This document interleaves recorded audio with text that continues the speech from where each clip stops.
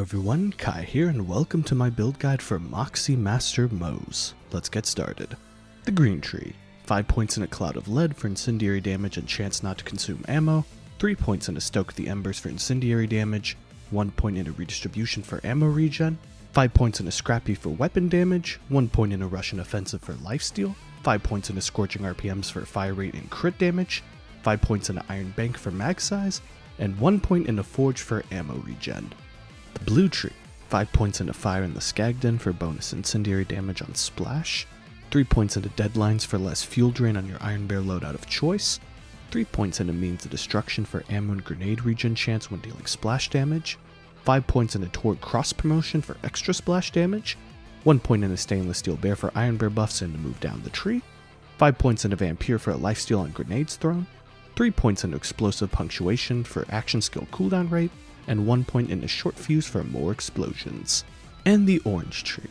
5 points in Armored Infantry for gun damage and damage reduction, 5 points in Drowning in Brass for gun damage stacks, and 1 point into Experimental Munitions for bonus incendiary damage. For your action skill, choose whatever is most fun for you. I have a blast with Iron Cub, but feel free to choose whatever action skills and augments you love personally.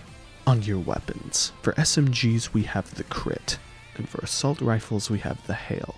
Both of these are weapons that you can get by tipping Moxxi at her bar, and for some reason Gearbox decided to buff these weapons into the stratosphere. As you saw in the montage, these guns both output insane damage, and if you can get along with their gimmicks, these two can be your new best friends in Borderlands 3. For pistols, we have the Beacon, it's the Hellshock on steroids, and I love it. For shotguns, we have the Trevinator, it works beautifully with Moze since it's buff. For heavies, we have the Backburner and a few elements, and because the Valentine event is going on right now, I have the wedding invitation I pulled for my sniper. Lastly, your gear.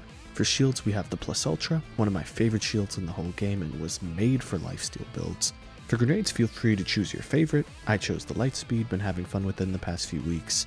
For class mods, we have the Sapper for boosted lifesteal and weapon damage, and for artifacts, we of course have the Pearl. Save file for Moxxi Master Moze will be in the description. Thank you so much for watching. Stay safe and have a blessed day.